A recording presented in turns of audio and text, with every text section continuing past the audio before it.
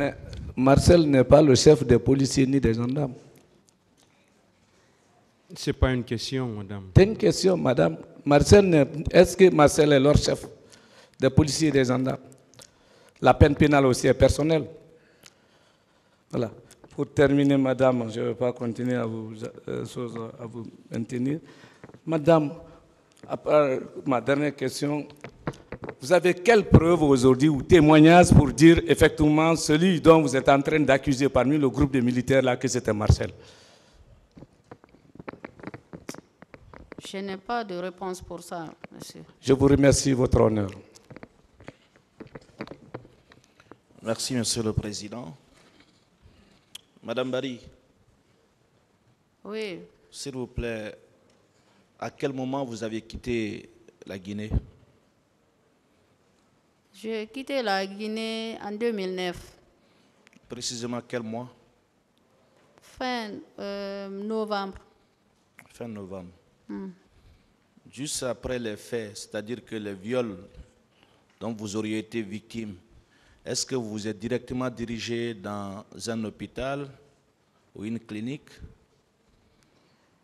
Bon, lorsqu'on était là, euh, comme il y, avait euh, un peu de situation, euh,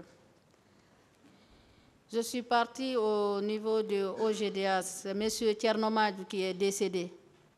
Lui, il nous a amené, c'est une femme. Après, il y avait Nam Fadima qui cherchait les victimes. Elle aussi, elle nous a contactés. Mais vu la situation, je suis partie à Donka. Mais comme il y avait trop de trucs là, menaces, après c'est là, c'est elle qui nous a évacués à Dakar pour Qui? aller. Qui? Madame Namfadima Magasuba. Donc vous êtes d'accord avec moi qu'après les faits, Mm. vous ne vous êtes pas rendu aussitôt dans un hôpital? Donc c'est à Dakar là-bas que je suis partie à l'hôpital. Vous avez donc attendu octobre, novembre, décembre, janvier pour aller à Dakar et vous rendre enfin dans un hôpital. Non, c'est pas janvier, monsieur. Oui, vous avez dit que vous avez quitté la Guinée en novembre. Mm. Est-ce que juste après avoir quitté la Guinée pour Dakar, arrivé à Dakar, vous êtes directement dirigé dans une clinique? Euh, avant, euh, on n'est pas dirigé directement à la clinique.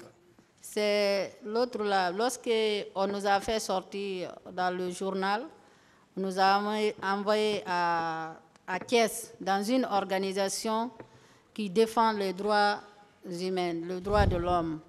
C'est là-bas que Dr Bamba nous a consultés. Il nous Vous a savez- donné soins. madame, Après, on nous... Hmm? Pourquoi je vous pose cette question? Non. Vous avez allégué des faits très graves ici, que personne ne peut cautionner. Le viol.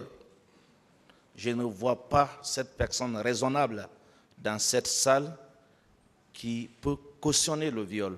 Nous sommes là pour la manifestation de la vérité et je vous pose des questions en vue de la manifestation de la vérité.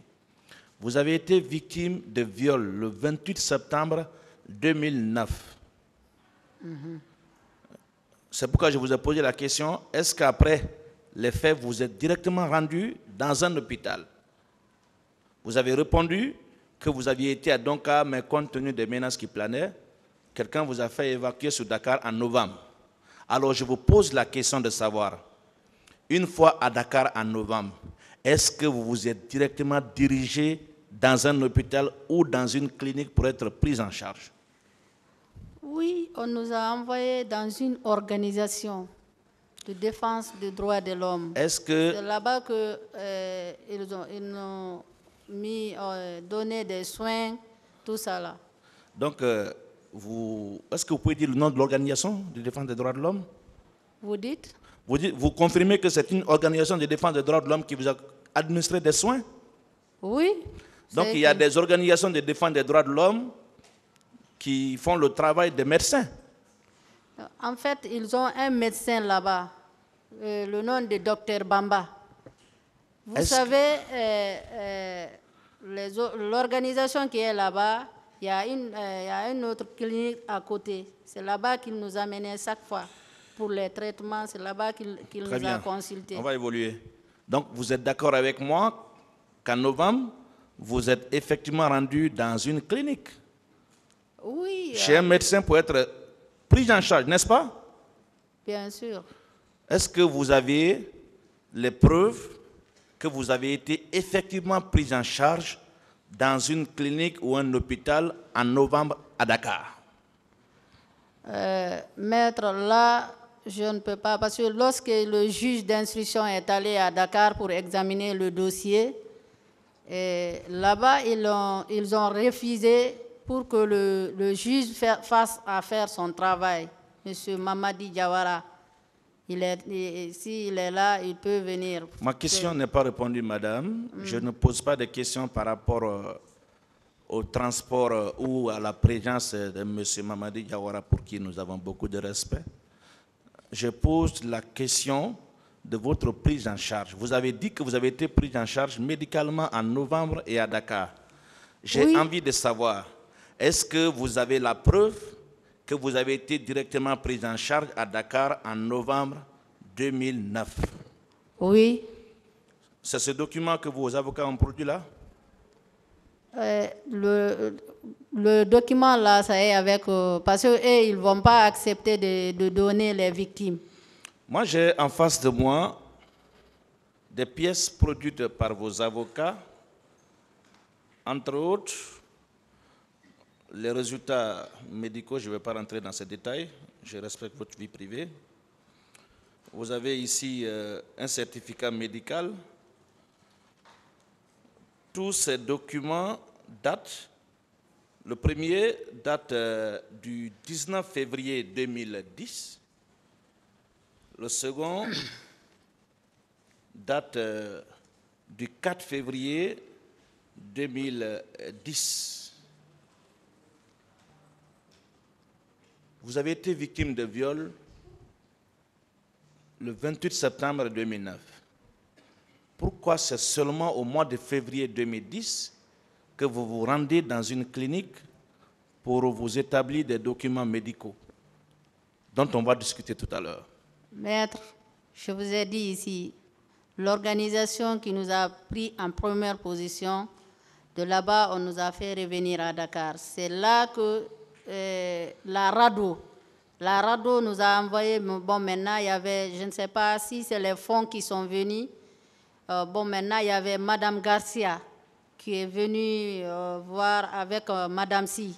C'est l'organisation qui nous a amenés et ils voulaient qu'on reste à caisse.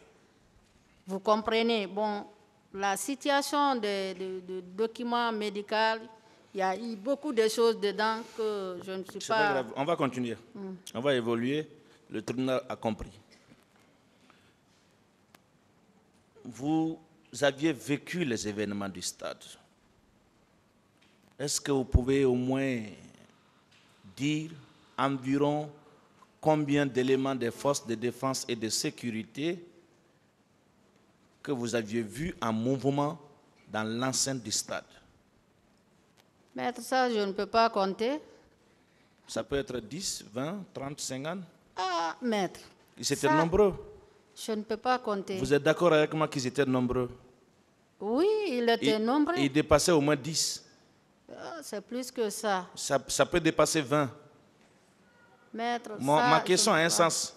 Hein? Ça, on- est d'accord que ça peut dépasser au moins 20. C'est pas Maître- moins de 20 quand même. Est-ce qu'on est d'accord? Ça, je ne peux pas compter parce qu'il y avait toute unité dedans. Très bien. Il y avait tout euh, genre de corps d'armée dedans. Très bien. Ça, je ne peux pas compter le nombre de militaires qui sont venus. Très bien. On est d'accord qu'ils étaient nombreux.